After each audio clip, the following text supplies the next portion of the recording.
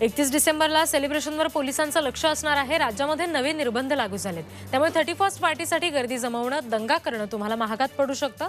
अशा नागरिकांना अटक सुद्धा होऊ शकते असा इशारा पोलिसांनी दिलाय.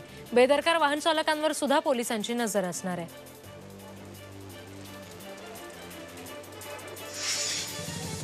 नागपूरमध्ये प्रशासनानं नवी नियमावली जारी केली आहे. नववर्ष पार्ट्यांच्या आयोजनावर बंदी घालण्यात आली आहे. शहरामध्ये अडीच हजार पोलिसांचा बंदोबस्त लावण्यात आलाय. कोरोना नियमांचा भंग केला तसंच नववर्षाचा आनंद साजरा करताना उन्माद केला तर संबंधितांची रात्र पोलीस कोठडीत जाईल असा इशारा देण्यात आला रायगडमध्ये पर्यटकांवर निर्बंध लागू करण्यात आलेत. लसीचे दोन डोस घेतलेल्या पर्यटकांनाच प्रवेश मिळणार आहे. शिवाय मास्क न वापरणाऱ्यांविरोधात दंडात्मक कारवाई सुरू आहे. आज आणि उद्या पर्यटकांची गर्दी आणखी वाढू शकते. त्यामुळे रायगड जिल्हा प्रशासन आता सतर्क झालंय. रायगड जिल्ह्यामध्ये कोरोना नियम मोडणाऱ्यांकडून दोन दिवसात सव्वा तीन लाख रुपये दंड वसूल करण्यात आलेला आहे. हॉटेल रेस्टॉरंट विवाह सोहळे या ठिकाणी कारवाई करण्यात आली आहे. विनामास्क फिरणाऱ्या एकशे पंधरा जणांवर कारवाई करण्यात आली असून त्यांच्याकडून प्रत्येकी पंचावन्न हजार रुपये दंड वसूल करण्यात आलाय कारवाई करूनही वारंवार नियमांचं उल्लंघन करणाऱ्या उल्हासनगरचं चांदणी बार हॉटेल हे पोलिसांनी सील केलेलं आहे. महानगरपालिकेनं ही कारवाई केली. कोरोना काळामध्ये या हॉटेलवर ऐंशी गुन्हे दाखल आहेत आणि संभाव्य तिसऱ्या लाटेच्या पार्श्वभूमीवर पालिकेनं खबरदारी म्हणून हॉटेल सील केलंय.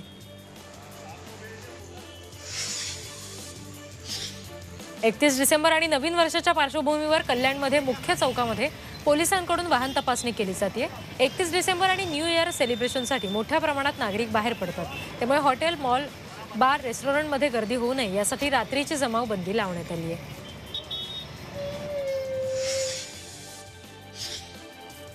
देशामध्ये कोरोना रुग्णसंख्येचा पुन्हा एकदा उद्रेक झालाय. देशात गेल्या चोवीस तासात तब्बल सोळा हजारापेक्षा जास्त रुग्ण आढळून आलेत. एका दिवसात सत्तावीस टक्क्यांनी रुग्णवाढ झालेली आहे.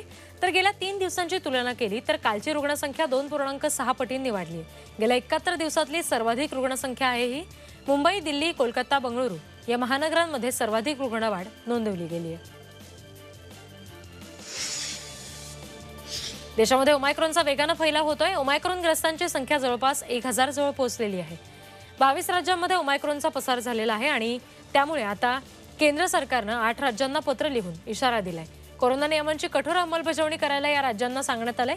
लग्न समारंभ इतर सामाजिक कार्यक्रम सोहळे सुट्ट्यांनिमित्त झालेली गर्दी यावर नियंत्रण ठेवण्याचे निर्देश सुद्धा देण्यात आलेत.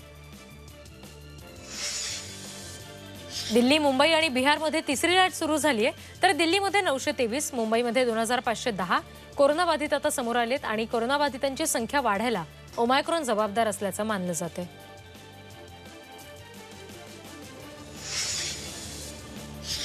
दोन डिसेंबरला देशात ओमायक्रॉनचा पहिला रुग्ण समोर आला आणि अठ्ठावीस दिवसात संख्या हजाराच्या पलीकडे केली आहे या आकडेवारीमुळे सध्याची सरकारची चिंता वाढतीये. गोंदिया जिल्ह्यामध्ये दोन ते तीन दिवसात कोरोनाच्या रुग्णसंख्येत दुपटीनं वाढ झाली आहे. जिल्ह्यात कोरोनाचे बारा नवे रुग्ण आढळून आलेत. कोरोनावर नियंत्रण मिळवण्यासाठी जिल्हा प्रशासनानं टेस्टिंग आणि ट्रेसिंगवर भर दिलाय. धुळे जिल्ह्यातही कोरोनाच्या रुग्णसंख्येमध्ये मोठी वाढ होतीये. गेल्या चोवीस तासात चार कोरोना रुग्ण आढळून आलेले आहेत. तर चार तर गेल्या सहा दिवसामध्ये चौदा कोरोना रुग्णांची वाढ झाली आहे रुग्णसंख्या वाढत असल्यामुळे प्रशासनानं काळजी घेण्याचं आवाहन नागरिकांना केलं आहे ज्येष्ठ नागरिक फ्रंटलाईन वर्कर्स यांना बूस्टर डोस कोणत्या लसीचा द्यायचा याबाबत अजूनही स्पष्टता नाहीये. हा डोस आधीच्याच लसीचा द्यायचा का याचा व्यापक विचार सध्या केला जातोय. याबाबत लवकरच निर्णय अपेक्षित आहे असं केंद्र सरकारचं म्हणणं आहे. येत्या दहा जानेवारीपासून ज्येष्ठ नागरिक फ्रंटलाईन वर्कर्सना हा बूस्टर डोस दिला जाणार आहे आणि त्यापूर्वी सरकार स्पष्ट शिफारसी करेल असं आयसीएमआरनं म्हटलंय. महसूल मंत्री बाळासाहेब थोरात यांना कोरोनाची लागण झाली आहे ते हर्षवर्धन पाटील यांच्या मुलीच्या लग्नात तसंच अधिवेशनामध्ये सुद्धा उपस्थित होते. संपर्कात आलेल्यांनी कोरोनाची तपासणी करून घ्यावी असं आवाहन त्यांनी केलंय.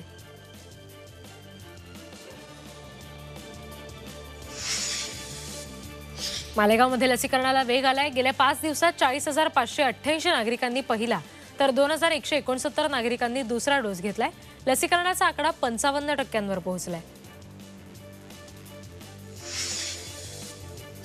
मुंबई मनपानं पाच जम्बो कोविड केंद्र सुरू करण्याची तयारी केलेली आहे. केंद्राची देखभाल वैद्यकीय सेवा पुरवण्यासाठी कंत्राटदार नियुक्त होईल. संबंधित वैद्यकीय संस्थेला मनपा एकशे पाच कोटी रुपये देणार आहे. पुढील तीन महिने किंवा तिसरी लाट उसरेपर्यंत या केंद्रांची जबाबदारी खासगी वैद्यकीय संस्थेकडे असेल. झटपट. हार्बर आणि ट्रान्स हार्बरवरील एसी लोकलला प्रवाशांचा अत्यल्प प्रतिसाद मिळतोय. त्यामुळे ही एसी लोकल सीएसएमटी ते गोरेगाव या मार्गावर चालवण्याचा विचार मध्य रेल्वे करते सीएसएमटी ते पनवेलवरील बारा फेऱ्यांमधून मिळून सरासरी ऐंशी तर ट्रान्स हार्बरवरील सर्व फेऱ्यांमध्ये मिळून सरासरी चाळीस ते पन्नास प्रवासी प्रवास करतात. सीएसएमटी ते कल्याण फेऱ्यांना सुद्धा अगदी कमी प्रतिसाद मिळतो.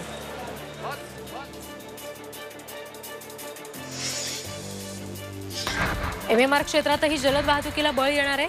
नव्या वर्षामध्ये ठाणे आणि परिसराला सुद्धा जलद वाहतुकीचे वेध लागलेत. डोंबिवली ठाणे मानकोली पूल जूनमध्ये सुरू होणार आहे. कोपई पुलाचं काम सुद्धा वेगानं सुरू आहे. शिवाय तळोजा परिसरात सुद्धा झपाट्यानं विकास केला जातोय. मुंबई नवी मुंबई यांना जोडणारा वॉटर टॅक्सी प्रकल्प आता जानेवारीमध्ये सुरू होणार आहे. पंतप्रधान मोदींच्या हस्ते त्याचं उद्घाटन होणार आहे. या प्रकल्पामुळे मुंबई नवी मुंबई यातलं अंतर केवळ अर्ध्या तासावर येणार आहे. समृद्धी महामार्गाचं काम केवळ पंचेचाळीस किलोमीटर इतकंच उरलेलं आहे. शिर्डीपर्यंतचा चारशे पंच्याऐंशी किलोमीटरचा टप्पा आता पूर्ण झालाय. नागपूर मुंबई या संपूर्ण टप्पा येत्या फेब्रुवारीपर्यंत पूर्ण होणं अपेक्षित आहे. संपूर्ण महामार्ग डिसेंबर दोन हजार बावीस पर्यंत पूर्ण होईल. वाशिम बुलढाणा या जिल्ह्यातलं पुलाचं काम फेब्रुवारीपर्यंत पूर्ण होणार नाहीये. औरंगाबाद जिल्ह्यातल्या एकमेव बोगद्याचं काम मात्र पूर्ण झालंय.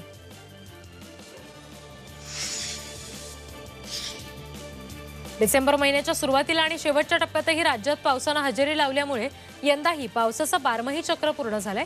दोन हजार वीसमध्ये सुद्धा प्रत्येक महिन्यात राज्यात कुठे ना कुठे पावसानं हजेरी लावली होती. सध्या उत्तरेकडच्या राज्यामध्ये थंडीची लाट असल्यामुळे राज्यात नव्या वर्षाच्या स्वागताला हलकी थंडी राहणार असली तरी सुद्धा तीन दिवसांनंतर मात्र तापमानात पुन्हा एकदा वाढ होण्याची शक्यता आहे असा हवामान खात्याचा अंदाज आहे. दीनदयाळ उपाध्याय ग्रामीण कौशल्य योजनेअंतर्गत पुणे जिल्हा परिषदेमार्फत रोजगार मेळावा आयोजित करण्यात आला होता. भोरमध्ये आयोजित करण्यात आलेल्या या रोजगार मेळाव्यात भोर वेल्हा पुरंदरमधल्या सातशे चाळीस बेरोजगार युवक युवतींनी नोंदणी केली आहे. तेवीस कंपन्यांनी यामध्ये सहभाग घेतला होता. या मेळाव्यात चारशे अकरा बेरोजगारांना जागेवरच नोकऱ्या मिळाल्या.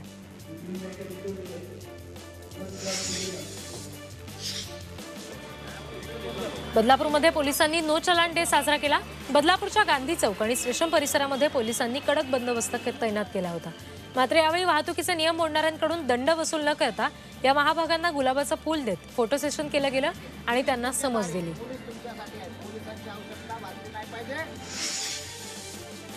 नाशिकच्या बागलांच्या देव मामलेदार यशवंत महाराज यात्रेमध्ये रथ मिरवणूक झाली. कोरोना नियम पाळून कुठलंही वाद्य न वाजवता ही मिरवणूक काढण्यात आली. यावेळी गृहिणींनी देवाची पूजा केली.